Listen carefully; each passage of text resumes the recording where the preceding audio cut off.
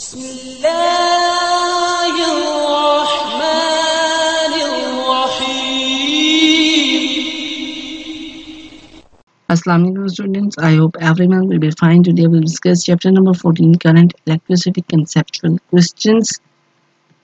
Now question number 14.1 है जी why in conductor charge is transferred by free electron rather than by positive and negative charges. जो conductor है उनके अंदर जो current है वो ट्रांसफ़र होता है by free electron rather than positive and negative charges since positive charge proton in conductor are bound in the nuclei of atoms जो प्रोटॉन यानी कि पॉजिटिवली चार्ज्ड पार्टिकल हैं, वो बाउंड होते हैं nuclei of atom so they are not free to move inside the conductor वो free नहीं होते कि वो कंडक्टर में मूव कर सकते electron present in larger distance from the nuclei of atoms of conductor are loosely bound और जो इलेक्ट्रॉन लार्जर डिस्टेंसेस पे present हैं from the nuclei of atoms वो क्या होते हैं loosely bound होते हैं to the nuclei These loosely bound electrons are called free electrons. उनको हम कहते हैं free electrons.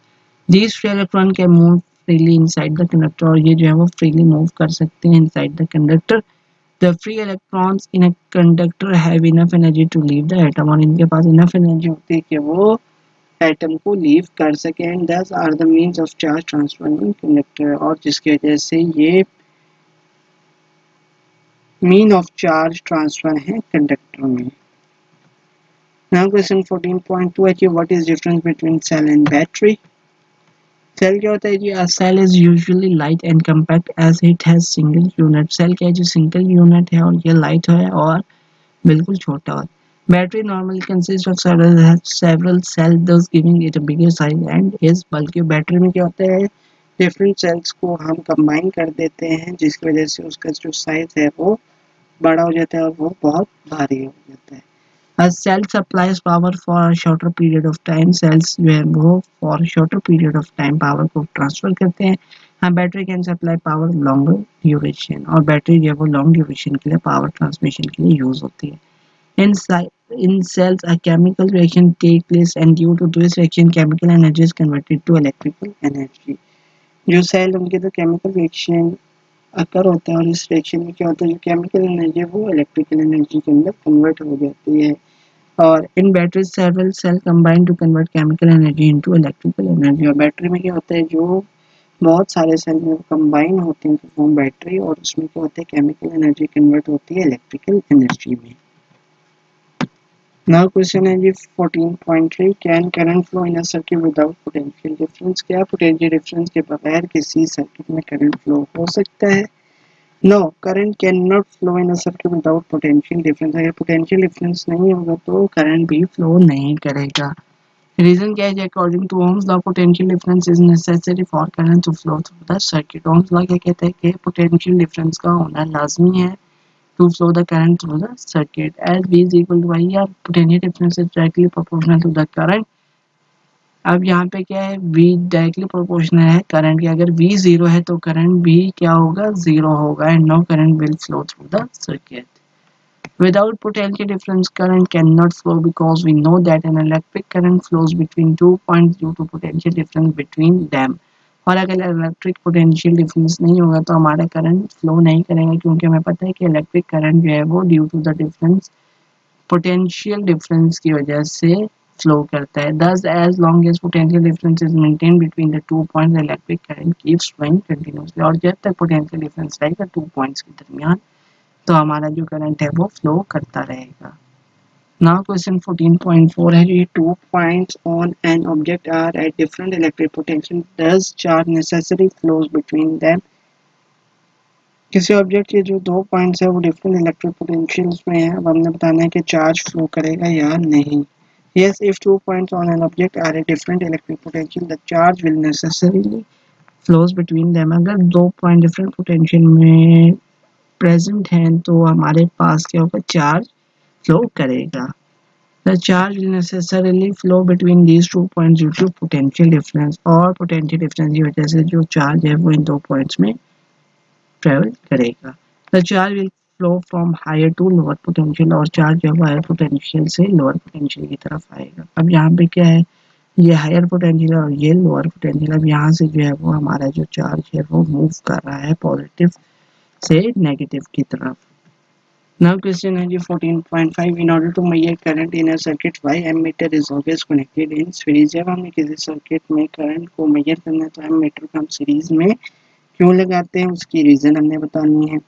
yes in order to measure the current in a circuit ammeter is always connected in series reason क्या है जी in a series connection the current flowing through all the components of the circuit is the same Ammeter aims at measuring the current in the circuit, hence it is connected in series so that the same current that is there in the circuit flows through it and gets measured. Series connection में क्या होता है जो current है component से गुजर रहा है जितने भी कंपोनेंट्स हमने सीरीज़ में गए वो क्या है सेम है तो उसमें क्या होगा एमीटर का जो पर्पस होता है वो क्या करता है कि वो करंट को मेजर करके हमें डिस्प्ले करता है जिसकी वजह से हम उसको सीरीज़ में कनेक्ट करते हैं ताकि जो करंट फ्लो कर रहा है वो हमें एग्जैक्ट वैल्यू दे और वह मेजर इजीली कर सके In series, there is only one path for the current to pass and all the current to be measured must flow through a single path with low resistance.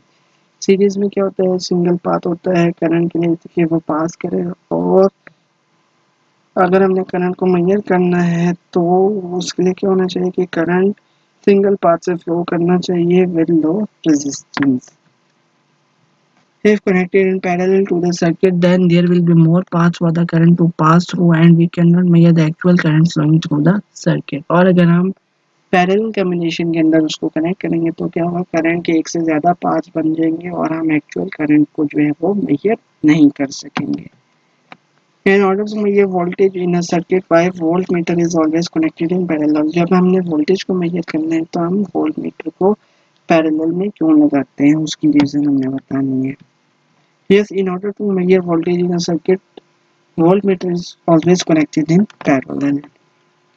As in parallel combination, the voltage remains same. Parallel combination में क्या होता है voltage जो है वो same रहता है so in order to मैं डिवाइस वोल्टेज या voltmeter is connected in parallel to world device और जब हमने किसी डिवाइस के वोल्टेज मालूम करने तो वर्ल्ड मीटर को हम पैरल में कनेक्ट करते हैं डिवाइस के। This setup is important as objects in parallel usually tend to experience the same potential difference और जो पैरल कम्बिनेशन के अंदर हमारे पास ऑब्जेक्ट्स हैं, वो एक्सपीरियंस करेंगे same potential difference It is connected in parallel with the circuit mainly because the same voltage drop across it. और हम जो है वो वोल्ट मीटर को इसलिए पी पैरेलल में लगाते हैं कि वोल्टेज ड्रॉप जो है वो सेम रहता है across the voltmeter. The voltmeter has high resistance. When high resistance voltmeter is connected in series, it will not have any current to flow through the circuit. Voltmeter का चूँकि resistance high होता है और जब हम इसको सीरीज़ में लगा देंगे तो कोई करंट भी फ्लो नहीं कर सकेगा through the circuit therefore, a voltmeter connected in series act more like a resistor and not as voltmeter और जब हम voltmeter को सीरीज़ में लगाएँगे तो वो क्या एक्ट करेगा? एज अ रेजिस्टर एक्ट करेगा rather than acting as a voltmeter now question 14.7 है जी। How many watt hours there in thousand joule thousand joule के अंदर कितने वाट आवर्स होते हैं? One watt hour is equal to one watt multiply by sixty multiply by sixty seconds and 1 volt multiplied by 3600 second and 1 watt hour is equal to 3600 watt second और 1 watt hour is equal to 3600 joule क्योंकि watt second जो होता है वो joule के equal होता है। तो 1 watt hour के अंदर कितने हो गए 3600 joule हो गए और जब हमने one watt hour divided by thirty six hundred के तो हमारे पास वन जॉल आ गया। अब हमने बताना है कि थाउज़ेंड जॉल्स के अंदर कितने वाट आवर्स होते हैं।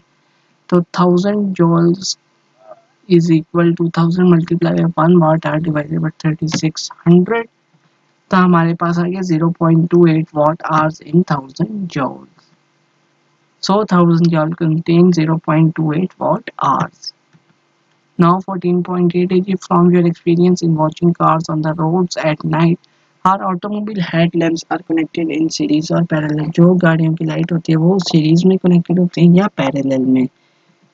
Head lamps of automobile are connected in parallel जो ऑटोमोबाइल के हेड लैम्प्स होते हैं वो पैरेलल कनेक्टेड होते हैं। उनकी रीजन क्या है?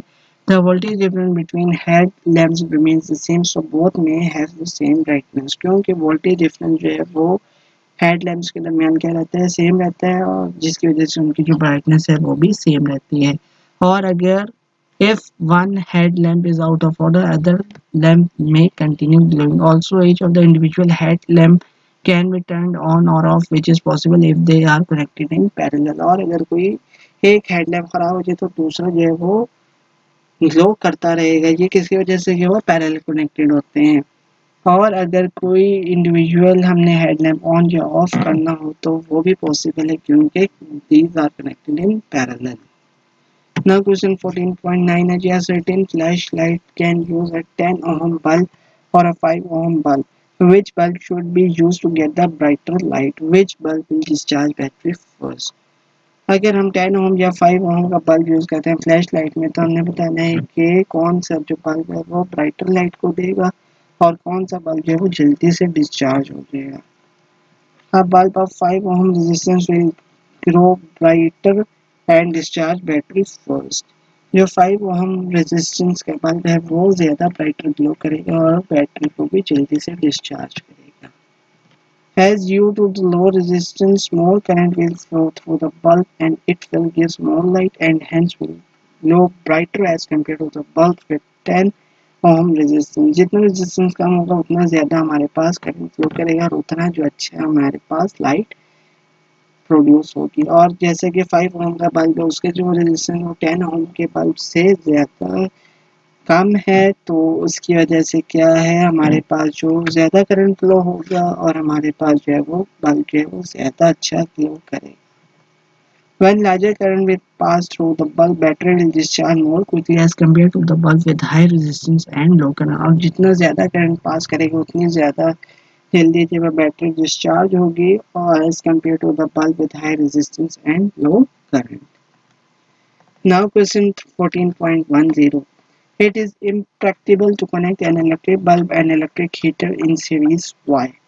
जो इलेक्ट्रिक बल्ब हैं या इलेक्ट्रिक हीटर हैं उनको हम सीरीज़ में कनेक्ट नहीं करते ये क्यों ऐसा है It is impractical to connect an electric bulb and an electric heater in series because they will not get current and voltage as per their requirement. जब हम दोनों को सीरीज़ के अंदर कनेक्ट करेंगे तो क्या होगा जो उनके वोल्टेजेस हैं, वो भी डिवाइड हो जाएगा, उनको पूरी तरह से करंट भी नहीं मिल सकेगा। Heater and bulb have different resistances and potential will drop according to the resistances उनके जो रेजिस्टेंस है, वो भी डिफरेंट है और जिसकी वजह से पोटेंशियल जो होगा, वो according to their resistance drop होता रहेगा। If one appliance fuse other will not run और अगर एक कोई ख़राब हो जाएगी तो दूसरी ऑटोमेटिकली नहीं चलेगी। In series, a single path is given to the flow of current through the circuit. When appliances are connected in series, total resistance of the circuit increases. अब यहाँ पे क्या होता है? जो हमारे पास करंट का है वो सिंगल पाथ होता है सीरीज़ में। अब यहाँ पे क्या होगा? जब हमने सीरीज़ के अंदर कनेक्शन है तो टोटल रेजिस्टेंस ऑफ़ सर्किट क्या होगी इंक्रीज हो जाएगी। This decreases the current and as a result of power is also decrease जिसकी वजह से क्या होगा? जो हमारा करंट है वो डिक्रीज हो जाएगा और पावर भी डिक्रीज होगी। In order to avoid this loss of current and power through the bulb and heater, we are connected in parallel rather than in series. और पावर और करंट के लॉस से बचने के लिए हम क्या करते हैं इनको पैरेलल में कनेक्ट करते हैं rather than connecting in series Now question 14.11 है जी does fuse in a circuit control the potential difference or the current जो fuse है वो potential difference को control करता है या current को Fuse in a circuit is used to control the current in the circuit. When the amount of current exceeds the given rated value of the fuse, it burns out to stop the current and circuit is broken. Fuse जो है वो control करता है current in the circuit और जब current की value जब normal values exceed कर जाती है तो फ्यूज क्या करता है मेल्ट हो जाता है और वो सर्किट को ब्रेक कर देता है Now that's all about conceptual questions of chapter number 14 current electricity. Thanks for watching. Please like my video and share my videos to other friends and press the bell icon for the subscription in order to get a notification for all the videos which we upload in the future. Inshallah, in our next video, we'll discuss chapter number 14 current electricity numerical problem questions. Till that time, take care. Allah Hafiz.